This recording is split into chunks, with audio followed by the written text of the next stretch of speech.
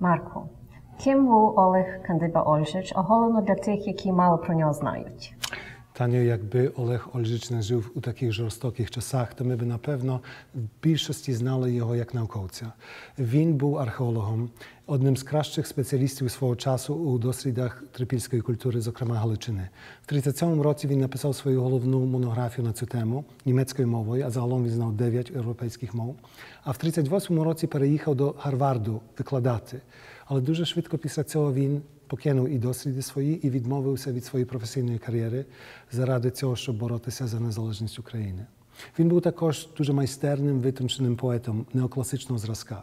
Але від поезії також відмовився. В 41-му році він написав свої останні вірші і від цього часу повністю присвятив себе боротьбі.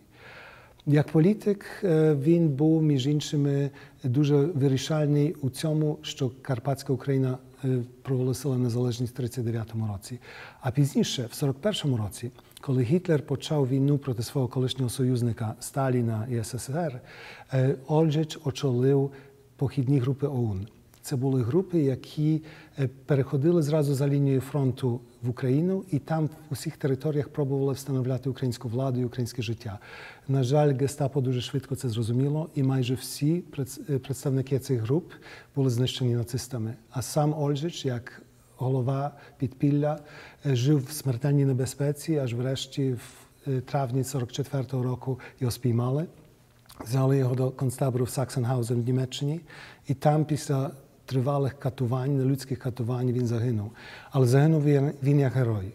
Він не видав жодної таємниці, він не зрадив жодного із своїх побратимів. А чи геройське життя Ольжича за ідеалами свободи і людської гідності не робить його влучним символом для українців саме сьогодні? Я розумію, що ти маєш на увазі. Майдан, Небесна Сотня, абсолютно. Це дуже влучне питання. Я вважаю, що якби українці на Майдані знали справжню правду про Ольжича і його діяльність, вони би носили його прізвище на своїх щитах. Тому що Ольжич до великої міри був предтечою цього, що відбувалося на Майдані. А він більше, ніж, можливо, хто-небудь інший з націоналістичного руху того часу, жив за цим правилом свобода народам, гідність людині. І він цю гідність зберіг до останніх страшних хвилин. А чи можна краще хіба сказати це, за що люди стояли на Майдані і за що гинули наші герої Небесної Сотні? Не випадково тепер називають Майдан Революцією Гідності. Marko, ti nešto davno vehalo se od opovit pročeća v Edmontoniji. Чи ти підготував іншу доповідь для Торонто? Так, це зовсім інша доповідь. І, і тут в Торонто минулого року, і, і частково в Едмонтоні я пробував поставити під сумнів деякі стереотипи щодо цього, як ми сприймаємо Ольжича, як таку зроблено з заліза над людиною, яка не має людських почуттів і страху, і так далі. Я хотів сказати, що він навпаки був дуже чутливою людиною, яка знала і страх, і сумніви, і тому. Особливо його геройство є таким таким вражаючим. І тому він настільки важить для нас, як справжній, справжній реальний взірець для наслідування. І ми чули багато позитивних відгуків від слухачів. Дякую. Дякую. А в цьому випадку я хочу сказати трішки інакше. Я хочу зосередитися на спадщині Ольжича, на науковій, поетичній, політичній.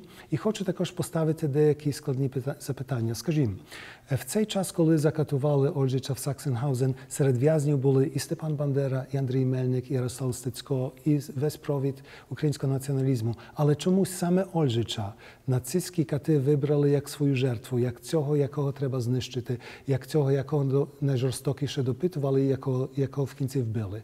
І питання чому? Я спробую запропонувати деякі відповіді на це питання, але щодо цього, то вже запрошую всіх зацікавлених прийти 19 червня на доповідь. Звучить цікаво. Дуже дякую. Це я дякую.